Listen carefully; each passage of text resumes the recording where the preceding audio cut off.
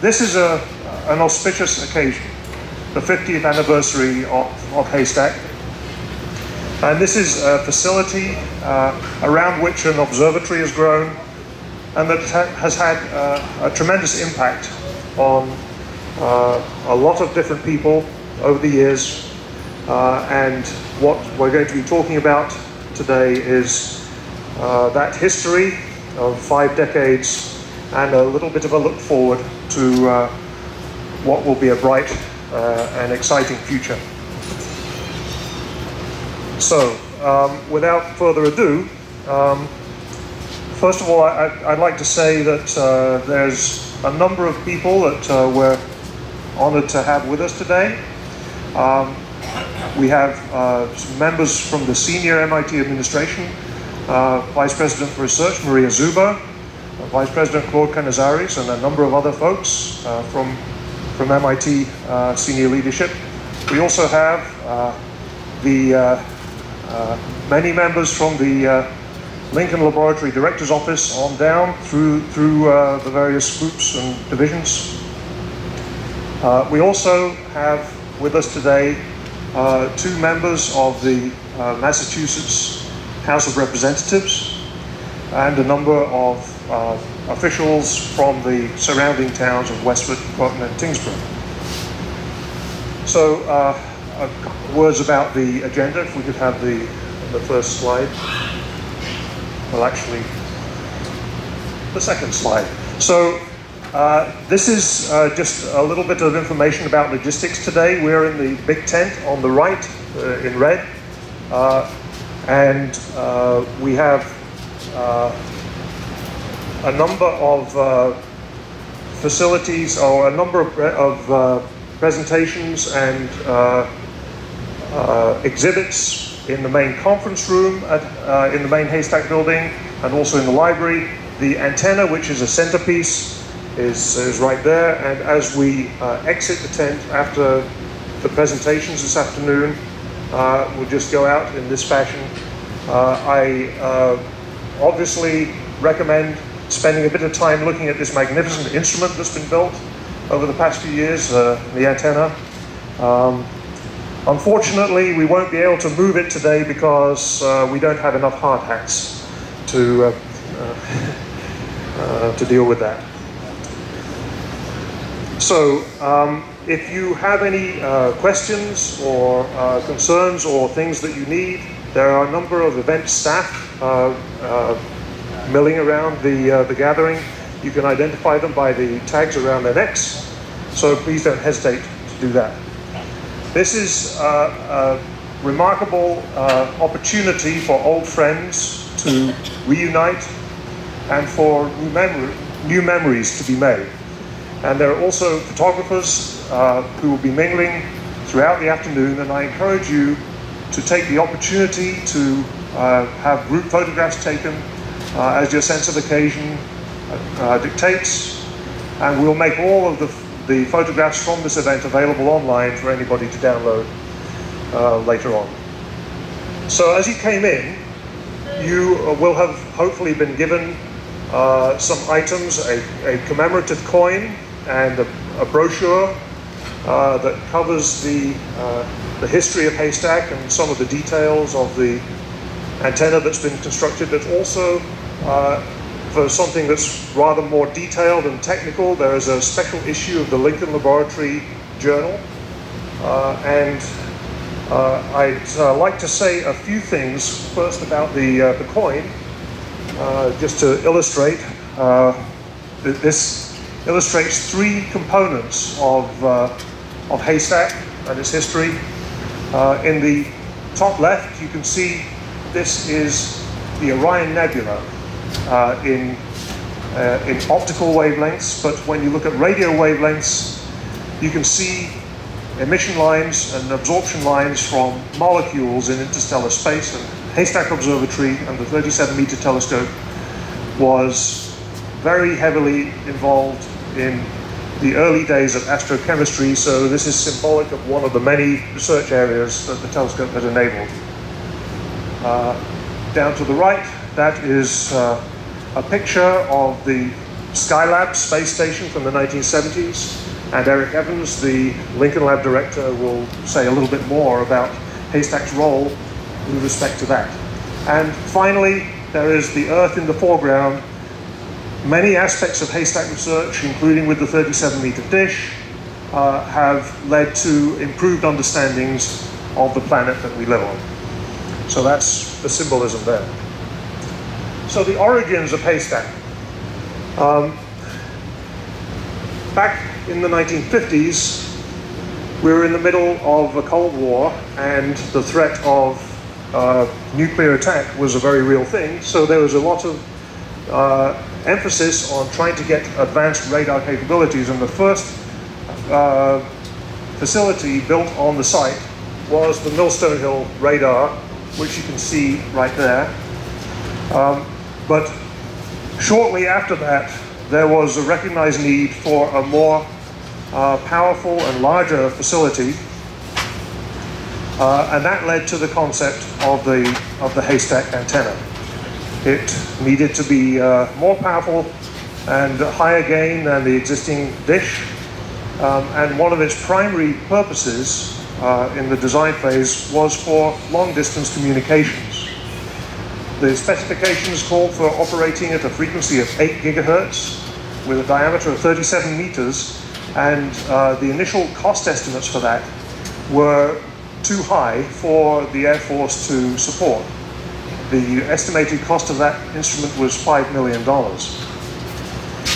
Um, so the answer that was found to reduce the cost to something more manageable was to place the entire structure inside a radome, thereby protecting it from the sun, from wind, and from snow loading, allowing the antenna itself to be built uh, in a much more lightweight and therefore less expensive fashion.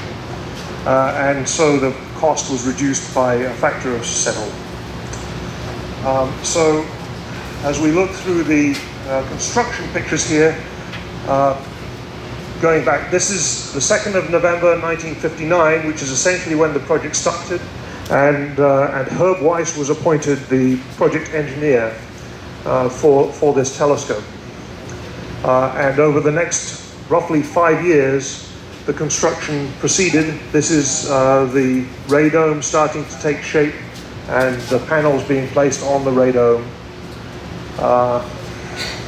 And uh, one of the major challenges was the reflector surface of that original dish. The target surface accuracy was roughly one millimeter RMS variations uh, over 37 meters, which was at the time quite a formidable technological challenge.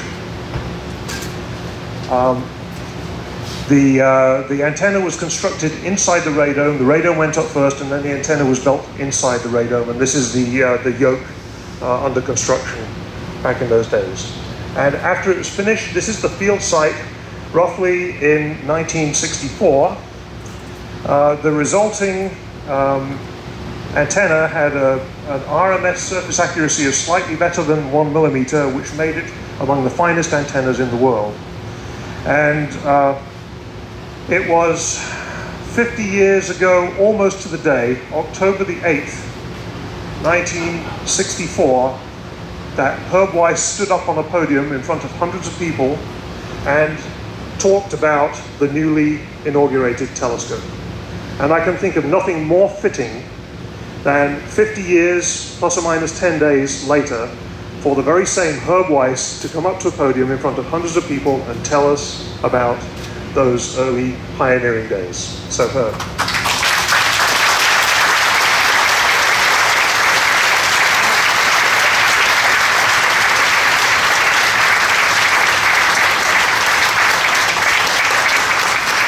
Well, thank you, Colin. It's indeed a pleasure to be here. Uh, 50 years seem to have uh, passed very rapidly, but uh, being back at Haystack reminds me of the very early days. Uh, it was decided that uh, after the Soviets dropped a hydrogen bomb in the Arctic on tests, that the U.S. was vulnerable to attack, and particularly our retaliatory force, which was the SAC aircraft, uh, could be surprised on the ground. And that motivated the President of the, Uni- of the United States to call the President of MIT on a one-to-one call and say, you've got to work on this problem. It's, you've done so well during World War II on the radar work. Put the lab together and solve this continental air defense problem. And of course, that was a tall order, but uh, that's the way the message came out. Uh, the Lincoln Laboratory was set, set up in 1951, and uh, after looking at the problem for a while, uh, we thought we understood it, and then lo and behold, Sputnik showed up. And instead of looking for uh, aircraft, we were looking for space objects. We had to find an ICBM coming over the Arctic at 3,000 miles, because that would give us 30 minutes of warning for SAC. Well, we scratched our head in the lab for a long time and decided it only required 60 dB more capability than we had going. That's a million times. That was an astronomical challenge. So we ground all the numbers and we looked at it and talked about it and said, well, if you build antennas as big as an acre or two and you get transmitters as big as the Voice of America had, and if you've used computer processing, uh, you might be able to get pretty close to that. So we put, problem came together and we decided, okay, we're going to start putting a system together that would see long, long range objects. And, and uh, it soon became apparent you needed a place to test this stuff. So we set up some requirements. We wanted a test site close to the lab. We wanted a place that was not occupied, had no houses within five miles. And believe it or not, 50 miles, 50 years ago, there were literally no houses within five miles of this site. Well, we found a location, and uh, as you came up the hill this afternoon, you saw that 84 foot dish and a big a great metal building, and that was the test site for the uh, components that eventually came into the missile detection system. Well, the lab uh, jumped on that problem and did an extraordinarily good job. Uh, when we got all through, a system was built up in the Arctic, came through on budget, and came through on schedule, which is unheard of for something that uh, take a step forward. After that task, the question is, what are we going to do in the radar group in the lab? What's our next challenge? And we thought of about a while and said, well, space objects are going to be around. We better build something that can detect what's going on in space. That led us in the direction of higher frequencies and uh, better processing and so forth. More discrimination was a big issue. Well, it didn't take much effort to decide that now we had a site at Haystack, it would be advantageous to find another site nearby. And that's why walking around the Haystack site, we ended up here on this site, which is called uh, up the road from Millstone Hill. Uh, the system uh, went together primarily as a advancement of the technology. There was no major uh, operational requirement. Just do the best you can. Let's stretch the technology in every direction we can. And lo and behold, we were scratching our head about this. A call came in from an Air Force colonel saying, Herb, we have a radome that we can't use. It's in, we're paying storage out in Goodyear in, in uh, Ohio. Can you possibly use it? We thought about it and said, well, we're looking for something to, to uh, enclose this antenna, and that's why we have this 150 foot diameter radar. That set some of the parameters for the system. So, uh, well, things went uh, pretty well, and, and uh, I guess uh, the results really history you can see what's going on and, and how well it's grown. And at the time, we knew it was way at the frontier of state of the art. And today it still seems to be. So we're very gratified by that, and it's indeed a real pleasure to be here. Thank you.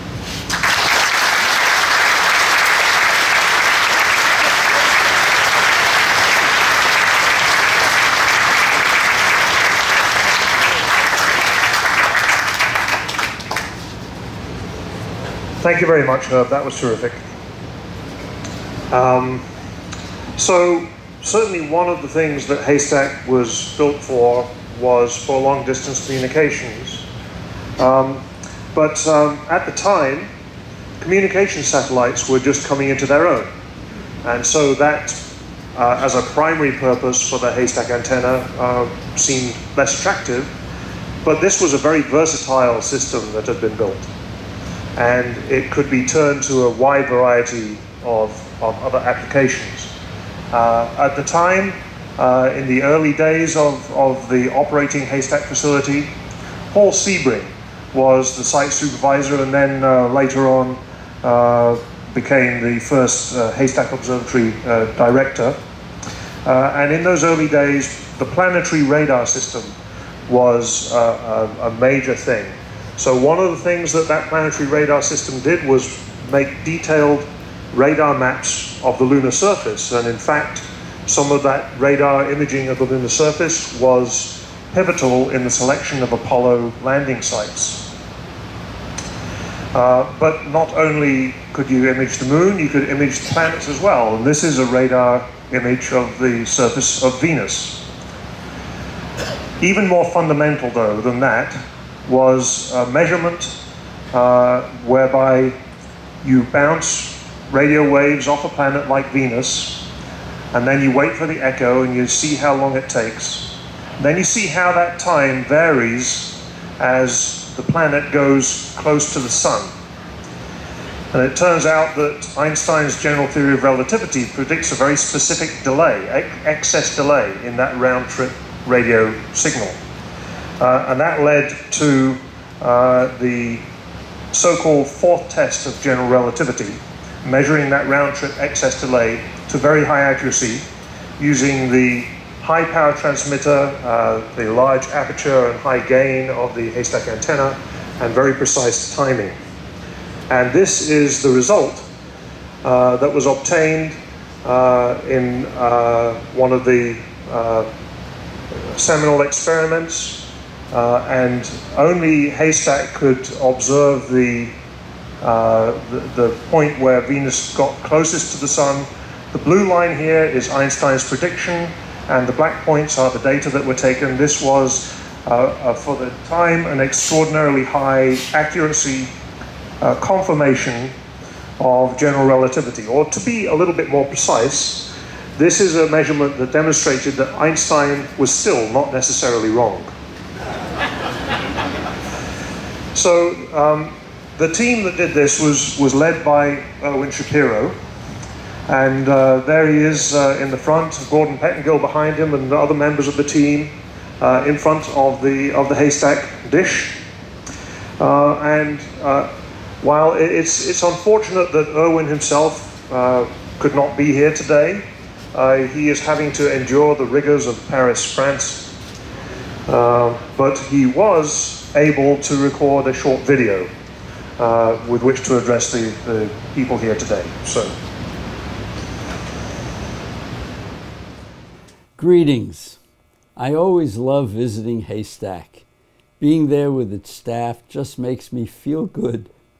So I am particularly sad at not being there today to see all of you who meant and mean so much to Haystack and to me personally especially Herb Weiss, who is largely responsible for Haystack's being here.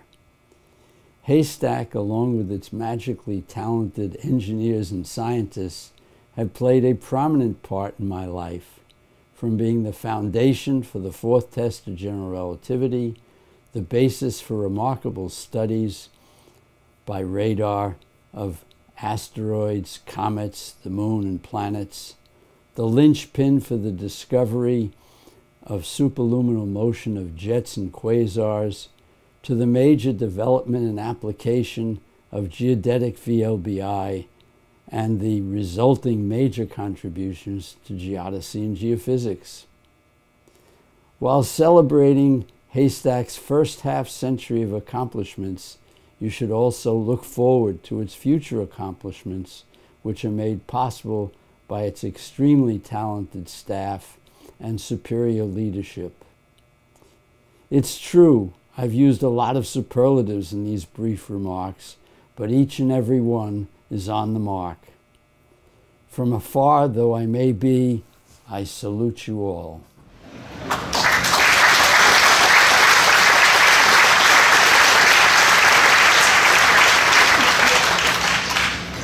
Owen, of course, has been a tremendous and steadfast friend uh, throughout the history of Haystack, and uh, we're all very sorry that he can't be here today, but uh, thank you, Owen, for that, uh, that lovely video.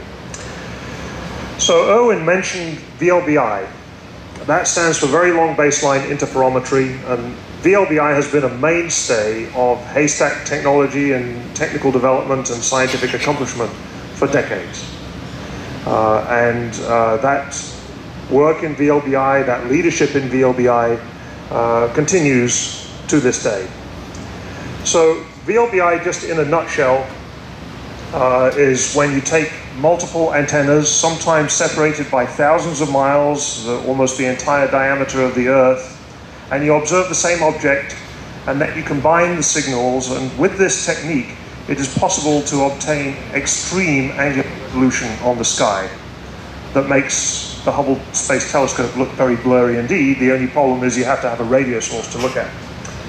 Uh, and those are a bit fewer and far between than the things that the Hubble can see. But nevertheless, that extreme resolution is an extraordinary thing. And when it was first deployed in full force, one of the things that came out of the woodwork pretty early was this. This is a result uh, in a paper that was led by Alan Whitney, who has been a leading member of the Haystack community for over 40 years. Uh, and he, uh, he served a, a stint as interim director at Haystack. And incidentally, he was primarily responsible for the uh, article in the Lincoln Laboratory Special Issue Journal uh, that chronicles some of the major scientific accomplishments uh, at Haystack Observatory over the years that includes the fourth test of general relativity, this result, and several others. So what you're looking at here, uh, this, is, this is just a curve of uh, interferometric response, but what really matters is this one. It shows that the separation between two components in a quasar is increasing with time. And if you work out how fast that is, it turns out to be about 26 times the speed of light.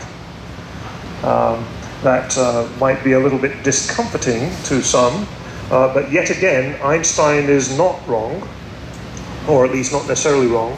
This is, however, evidence that something is moving very, very close to the speed of light, and furthermore, that it is directed very close to the line of sight.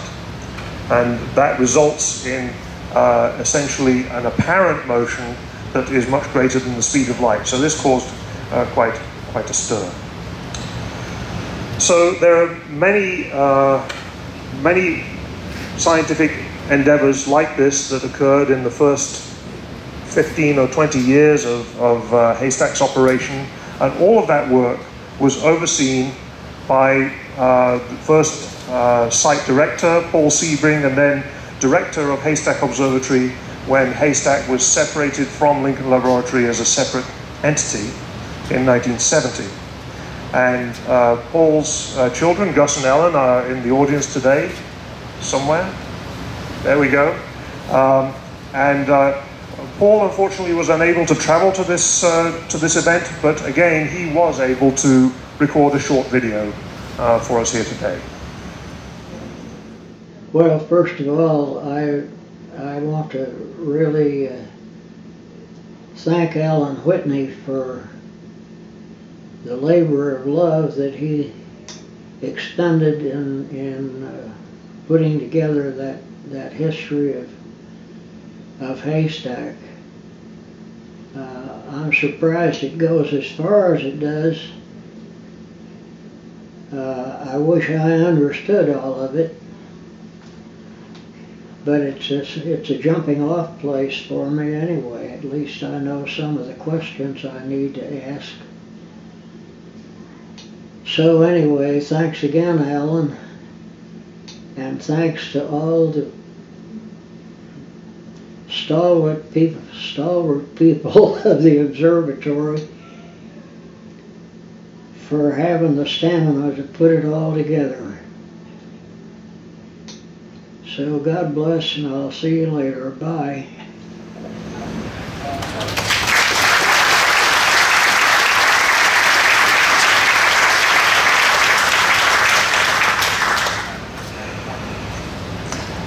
So, in addition to the operations with the 37 meter dish that were so active in those days, uh, also something that started at about the second time was a technique called incoherent scatter radar. And the big transmitter that was attached to the 84 foot dish uh, at Millstone, uh, that power could be uh, coupled with a very large aperture and fired off into the upper atmosphere. Uh, and if you fired enough energy off and had a sensitive enough receiver to pick up the echoes, you could pick up the faint echoes from electrons high up in the atmosphere, in fact, in the ionosphere. And this became a very powerful remote sensing uh, technique that, uh, that was done on the site for, uh, well, since the, since the mid 1960s. Uh, John Evans was a key figure uh, in, in that work in the early days, and he also was uh, Haystack director from 1980 to 1983. John unfortunately had a conflict uh, and is unable to be with us today, um, but uh, he uh, should be proud of the fact that the this work on the ionosphere and the atmospheric sciences has thrived without a break for 50 years and is thriving today. Uh, the atmospheric sciences uh, efforts at Haystack Observatory have become very tightly integrated with the rest of the observatory. Uh, and uh, this is one of the key ingredients to Haystack's prosperity today. So one of the things that made the 37 meter so versatile uh, and therefore scientifically powerful was the system of interchangeable boxes. So you see here a, an instrumentation box being hoisted up into the focal position. And in this way, it was possible to efficiently share the astronomy operations on the dish that require sensitive passive receivers with the Lincoln Laboratory radar capabilities on the same dish. Uh, and that, uh, that cooperation and dual use turned out to be very powerful over the years. So one of the things that was a, a major uh, focus of research in the 80s and 90s with the telescope was looking at regions of our galaxy that are filled with gas and dust in interstellar space and also molecules.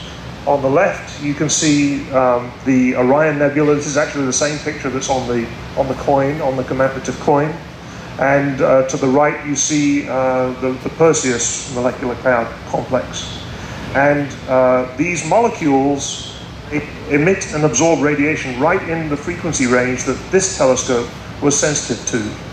Uh, and it turns out that the higher in frequency you go, the more of this stuff that you can see. And Haystack at the time was one of the finest high frequency antennas in the world, and so it was a, uh, a pioneering instrument uh, for opening up the new field of astrochemistry.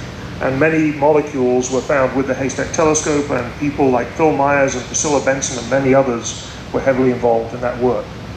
Um, another individual who was deeply engaged in that, uh, in that work um, was uh, a staff astronomer here for many years, Aubrey Haschick. Uh, and I, I, is Aubrey here today? Aubrey's over there. So, yeah, welcome back, Aubrey. And uh, it was tremendous work back in those, those days. So, here's a list, by the way, as of about a decade ago of all the different molecules that had been identified in space. There's a huge number of them. This is the, the number of atoms in the molecules. Huge variety and now an enormous and very productive research field. So another thing that was going on in those times, uh, the 80s and the 90s, was geodetic VLBI. So VLBI can achieve extraordinary angular resolution on the sky, but you can turn that around and say, okay, if, if a radio source is in a certain position on the sky, I can figure out exactly where my telescopes are on the ground. And this turns out that you can do that to a precision of millimeters over thousands of miles. And what this allows you to do is, for the first time, directly measure continental drift. And what you see here is the separation between uh, a telescope here on the site and a telescope in Germany. And it turns out that uh, America and Europe are drifting apart at a few centimeters a year, which makes some people very happy. what, uh, what I don't quite understand, though, is if you look at a map, that means that Europe's moving to the right and America's moving to the left and that, uh, that does not compute, except uh, if you consider Deep Blue Massachusetts and David Cameron's United Kingdom. This is a map of all the tectonic plate motions that were mapped out by VLBI in this pioneering work, uh, and it led to a really profound improvement in our understanding of the dynamics of the solid Earth. Haystack was also involved and continues to be involved in the development of cutting edge VLBI technology. And Haystack was uh, responsible for much of the design of the very long baseline array that was commissioned in about 1990 and is run by the National Radio Astronomy Observatory. Uh, this was a time of change and of challenge when this network of dedicated telescopes went online. Haystack no longer was responsible for operating the ad hoc VLBI network that had been running up to that point. In addition, um, as fine as the Haystack telescope was with its one millimeter RMS surface accuracy, there were new telescopes being built all over the world on mountaintops with higher surface accuracies, and the competitiveness of Haystack for astronomy was being challenged. One of the responses to this in the early 1990s was the construction of or the upgrade of the telescope to be able to operate at three millimeters. And this is a picture of a deformable subreflector. So the radiation comes in, it bounces off the dish, it hits the subreflector and bounces to the receivers. And by changing the shape of the subreflector, you can take out some of the distortions in the dish. In addition, there was a, a thermal control system that would selectively heat and cool different parts of the dish to further take out some distortions. And this, uh, it, it, I think it's fair to say, added at least a decade to the competitive life of the, uh, of the 37 meter dish for astronomical studies. We also, at that time, because of these challenges, uh, went for diversification of research. And this is a trend, this diversification is something that continues unabated today. One of the directions, uh, to take an example, was uh, the low frequency arrays. So we participated in the construction of a low frequency array in Western Australia. Uh, we are currently heavily engaged in technology development for new kinds of low frequency arrays, in this case, a portable one that is a real revolution in the making. Uh, and also, uh, we have uh, engagement in an experiment to search for uh, emission or a, a signature uh, from the very early stages of the universe, a phase change in the universe. And this work is led at Haystack by Alan Rogers. Alan Rogers, of course, uh, I could have put his face on just about every slide up to now because his contributions have been uh, continuous, profound, uh, spanned every single one of the five decades that Haystack has been in existence. Uh, and uh, his, his mark is on all of the major accomplishments of the observatory. And we all owe him a tremendous uh, amount of gratitude for his, his pivotal contributions over the years. So in the 80s and the 90s and the 2000s, um, it was a period of both uh, trial but also great triumph. For nearly half the time since the inauguration of the telescope in 1964, and for more than half of the life of Haystack Observatory as a separate entity, Joe Salah was the director here, was, was our leader, and it is in large part to him that we owe what Haystack is today. Uh, he hired me in 1986 and became a friend and mentor, and I would like to invite Joe to the podium now to say a few words.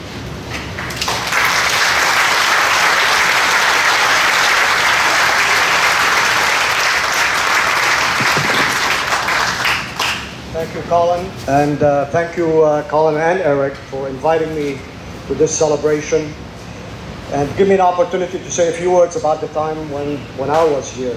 Uh, it's good to be back after five years of retirement and to find that the observatory is in good hands and is still prospering. So I missed you all during these five years. Maybe I should be more honest. I, I missed most of you. I also thought of you often, but if I should be again honest, I thought of you sometimes in the winter months, January, February, when I watched on TV people shoveling all that snow while I was sitting relaxing in Southern California. But then, of course, we got the droughts, the fires, and the earthquakes, so I stopped relaxing. And I'm glad to be back here. So, on a more serious note, I'm proud to have been part of Haystack for 25 years, half of its lifetime. 23 of those as its third director, building on the strong foundations that were laid by Paul Sebring and John Evans. The staff got a lot done during those, those years while I was there. Now you have a wonderful new dish that will do exceptional measurements and push the frontier forward. Our time was spent, as Colin said, pushing a grand old antenna well beyond its initial design frequency of 8 gigahertz. And that's because it was so well designed and built by Herb Weiss and his team at Lincoln Laboratory. I recall the ingenuity that went to upgrading that old dish to operate first around 20 gigahertz. Then we were pushing to 50 gigahertz. And then we bravely tackled upgrading it to 115 gigahertz. And we were successful in that. The upgrade work was done by our engineers here, led by the late Dick Ingalls, with excellent support from Simpson, Gumpertz, and Heger, led by Joe Antebi. And our astronomers, many of whom uh, Colin already mentioned, from Haystack, the MIT campus, the Harvard Smithsonian Center for Astrophysics, and other institutions in the Northeast, then use the telescope to observe the emission of various molecules in interstellar space to study star formation. And then the telescope participated in VLBI networks, first at centimeter wavelength, then pioneered millimeter wavelengths, to map galaxies with finer and finer resolution. And Haystack basically became an international center of excellence in VLBI technology and science, which continues to, to, to today. So I'd like to mention a few important attributes of Haystack from my former perspectives. First, a key strength of our observatory has been the combination of technology and science. The technology often enabled new science to be done, and other times the science drove the development of the necessary technology. I'll give you two examples. One example is the innovation uh, of this innovation was the development of high data recording by Alan Whitney and his group to enable cutting edge millimeter wave VLBI astronomy, as well as the precise measurements of geodetic motion in the Earth's crustal, uh, crustal dynamics, as Colin mentioned. Second example was a successful search for deuterium by Alan Rogers and his team, which drove the development of radio array technology, which was then later applied to large wide field arrays. The second attribute that I would like to note here, and of which I was most proud during my tenure, was the contribution of the staff to education. So we use the resources of the observatory to enrich undergraduate students through hands-on research opportunities and we reached out to the communities around us to help excite young students and their teachers towards science, math, and engineering. And these programs continue today. Alan Rogers and his group even cleverly designed and commercialized small radio telescopes for education, which I understand from my visit today continue to be used around the country and the world quite successfully. And finally, I would like to personally recognize the Atmospheric Sciences Group, which is part of Haystack. Over 50 years ago, the first incoherent scatter spectrum was measured uh, by the Millstone Hill radar down the hill, and the work still continues to make major contributions to the study of the Earth's ionosphere, upper atmosphere, and magnetosphere. Now, I still remember with great fondness my own three years as an MIT graduate student here on the Hill in the late 60s, working on my thesis using those radars down the hill at Millstone under the men mentorship of John Evans. So in retrospect, I look at the various important tasks that a director does, like raising funds, developing strategic plans, entertaining committees and sponsors. But the most important task, in my view, for a director is bringing the right people and the best people to work here and creating a good work environment. So I am proud of the staff, the technical support personnel who have populated this facility over the years while I was here and produced all the successes and important results. Thank you for all that hard work and for your dedication. There's a kindred spirit that binds Haystack people together. Those of you that work here know, know that spirit that I'm talking about. It allows them to support each other and succeed. I've been told that this spirit is unequal among similar research centers. So this is something that we can, we can all be proud of and continue to nurture in the future. So congratulations on the 50th anniversary, and I give you my best wishes as you carry forward your research in the future at your traditional level of excellence. Thank you.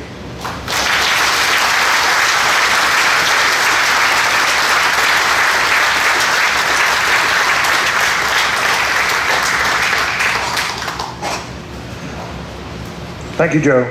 Um, those were tremendous years that you led us through for 23 years. Um, so, next, I would uh, like to just uh, reiterate that Haystack Observatory shares um, a great deal of history, um, a, a culture of innovation, and a tightly knit community on the hill here which has both Lincoln Laboratory and Haystack Observatory facilities. So there's been a partnership between Lincoln and Haystack for, for decades, and that partnership today is as strong as it ever was. So uh, next I'd like to uh, introduce um, Maria Zuber, Vice President for Research at MIT, to say a few words.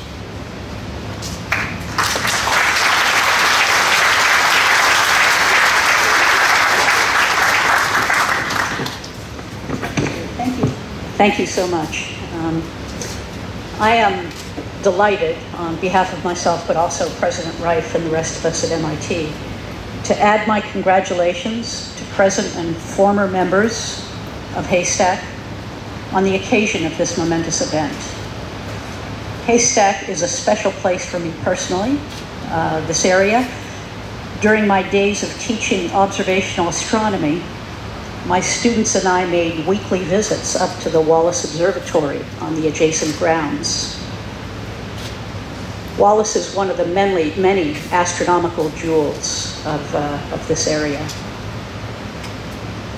On nights when the skies were crystal clear and the atmospheric viewing conditions were excellent, the students would inevitably overrule me that class was over so that they could stay and observe well beyond the end of class time. I would routinely drive them back and drop them off at their dorms and their fraternities and sororities at campus and in Boston after midnight, at which time they'd start their homework. Observing space has that kind of effect on people. All I can say is that it's a good thing that I didn't let them near the 30, 37 meter dish, or I never would have been able to pry them away and take them back to campus. That little anecdote exemplifies one of so many ways that Haystack for years has added value to our programs. The observatory operates in the best MIT tradition of developing new technologies, applying them to gain new knowledge, and training the next generation of technologists and scientists. Haystack is a valued partner, along with MIT and Lincoln Lab, in the development of radar systems and other technologies for sensing phenomena from the drift of the Earth plates to the structure of the atmosphere to the interiors of galaxies. I applaud Haystack's, Haystack's broader commitment and contributions to education from postdocs, graduate students, undergraduates, teachers, and even the public at large. I'd also like to highlight the long and successful partnering between Haystack and Lincoln Lab, which has flourished nearly since Haystack's inception. The two organizations have exhibited a spirit of cooperation that transcends their distinctive missions and which has enriched them both, and of course MIT as well. In closing, when I start to think that Haystack is far away from us in Cambridge, I remind myself that it is so much closer than what it is we explore together. From our most recently selected experiment to synthesize rocket fuel on the surface of Mars, to our VLBI efforts to study the dynamics of the Earth using quasars at the edge of observable space, I know I speak for many at MIT in saying how privileged we have been to claim Haystack as a bright star in our constellation, and we look forward to what the future brings. Thank you very much.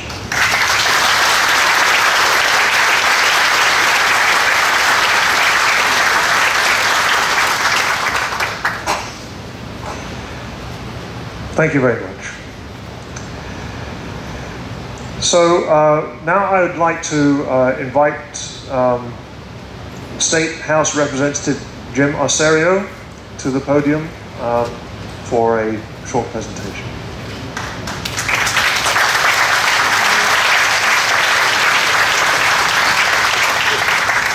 Thank you very much. It's uh, quite an honor and a privilege to be here. Uh, growing up in Westford and, and, now having the honor to represent uh, the people of Westford in the Massachusetts House of Representatives, it's, it's such an honor knowing that uh, I grew up here in Westford and used to ride my bike and play in the woods around this area. And uh, certainly growing up, full, full mission here is that I wasn't quite sure what went on up here. But uh, as I grew older and uh, read the works of Isaac Asimov, Ray Bradbury, Arthur C. Clarke. I got a better handle on what went on up here. But the work that you do here uh, in innovation and scientific research has certainly been a beacon of inspiration for not only our nation but our world. And it's an honor to, to call uh, you know, Westford our home. So on behalf of the Massachusetts House Representatives, uh, put forward a resolution honoring five decades of excellence congratulating the Massachusetts Institute of Technology Haystack Observatory on the occasion of its 50th anniversary. Whereas the Massachusetts Institute of Technology Haystack Observatory, located in Westford, is celebrating its 50th year. Haystack Observatory is an astronomical observatory owned by Massachusetts Institute of Technology, located in Westford, and began operation in 1964. The Haystack Observatory Atmospheric Science Group pursues a broad spectrum of up, upper atmosphere research, including studies on Earth's thermosphere, ionosphere, and magnetosphere, and the process which couple and perture these regions. Whereas the fourth test of Einstein's general theory of relativity was also carried out at Haystack by making precise measurements of the round trip travel time on the radar echo from Mercury, which passing near the sun was delayed due to the intense solar gravitational field. Whereas the Haystack Observatory is renowned for many astronomical discoveries, such as the initial detections of various molecular species in inter, bear with me here, interterrestrial space. Whereas many as 100 investigators, including about 20 graduate students, utilize the facility annually in their research projects, therefore be it resolved that the Massachusetts House of Representatives joins the citizens of Westford and surrounding communities and celebrating the, mem- the memorable occasion of 50, 50th anniversary of the Massachusetts Institute of Technology Haystack Observatory, wishing it sincere best wishes for continued success, and be it further resolved, a copy of these resolutions be transmitted forthwith to the Clerk of the House of Representatives, signed by the Speaker of the House, Robert DeLeo, and Jim Arciero. Congratulations, everyone.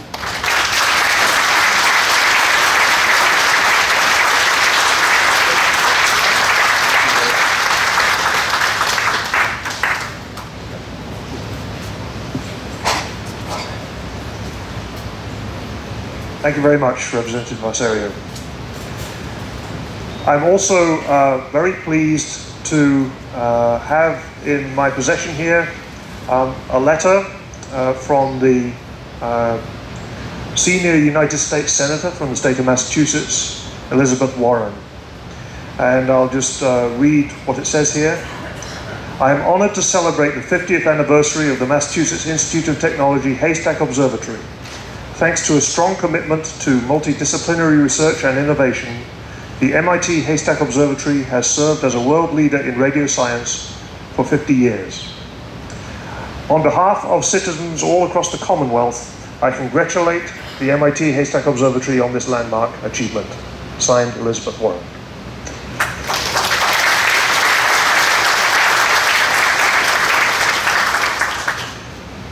So uh, we're almost at the end here of the presentations. Uh, so I uh, wanted to say a few final words about what the future holds besides uh, food, drink, cake, and merriment. Uh, so I mentioned earlier that Haystack has been working hard to diversify its science and technology portfolio. And just to illustrate that briefly, I've got a few pictures here. This is uh, low frequency array development that I mentioned earlier. This is a revolution that you can pick up this array, move it anywhere, set it down, and start taking pictures of the sky.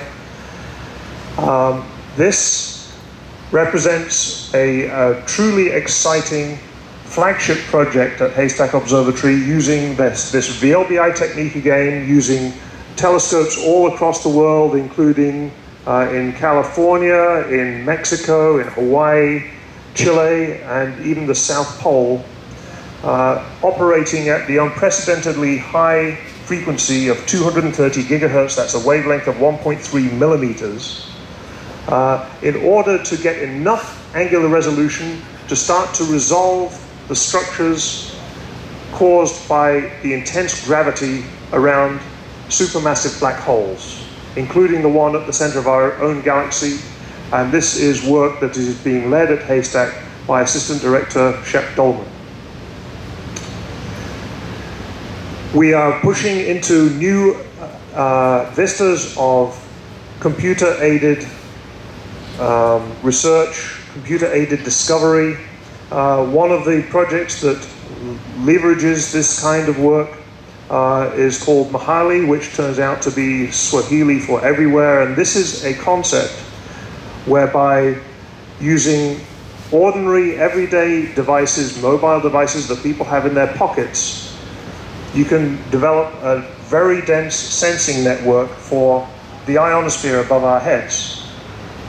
At the moment, we have maybe hundreds of sensors around the world measuring the ionosphere but by using advanced computu computational techniques and, and, software techniques and crowdsourcing techniques, we can turn that, those hundreds into millions and billions and revolutionize that area of research.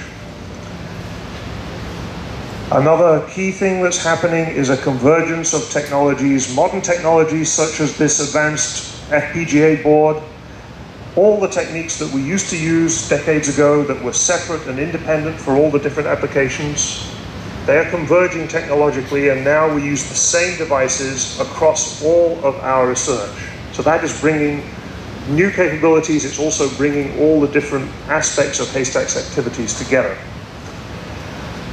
You may have heard on the news that MIT and, and Haystack Uh, now have a role on the upcoming Mars 2020 rover, in particular the MOXIE instrument on board that rover, which is designed to manufacture oxygen from the CO2 atmosphere of Mars in preparation for future human exploration.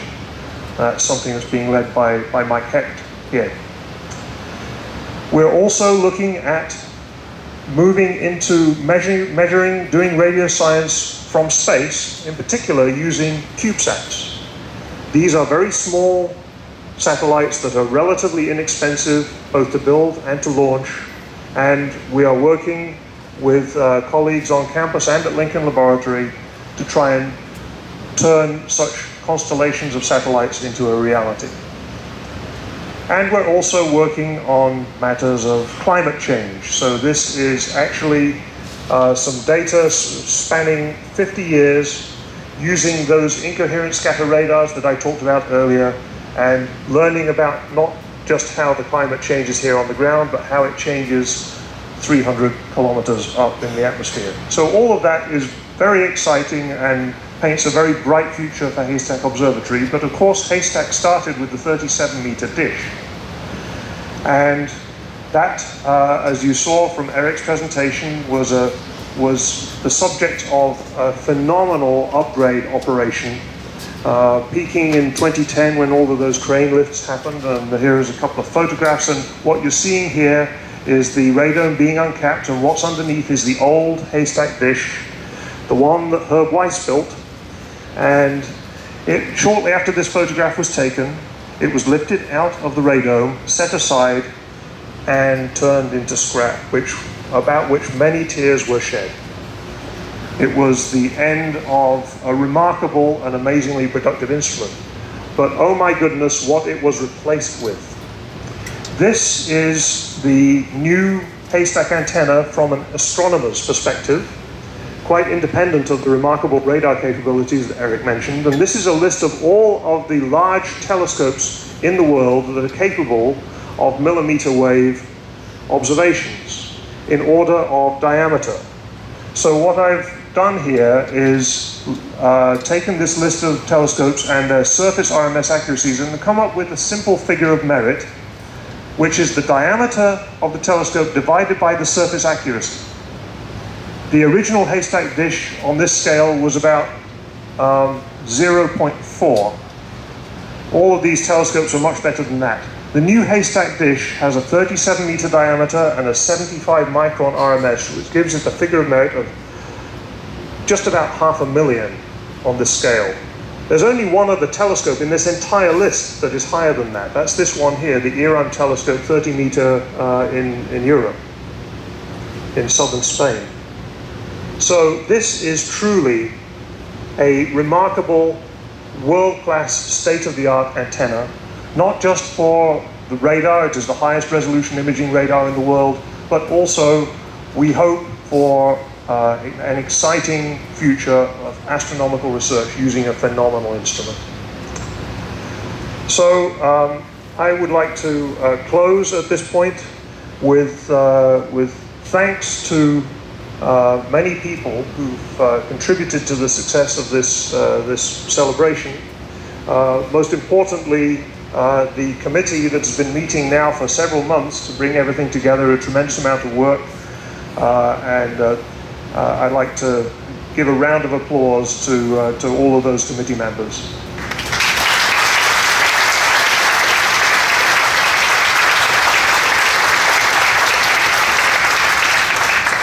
I also want to acknowledge the generous support of both uh, Maria Zuber and the Vice President's Office uh, and uh, Lincoln Laboratory for, for supporting uh, this event. Um, and most of all, I want to thank the broader Haystack community across boundaries of both time and research mission, um, which has made Haystack something special indeed. Uh, so with that, I will just put back up the map of the site here uh, and invite everybody to wander around, look at all the exhibits, partake of a slice of cake and refreshments, and uh, view this marvelous instrument uh, that has been so superbly constructed here. So thank you very much and have a good time.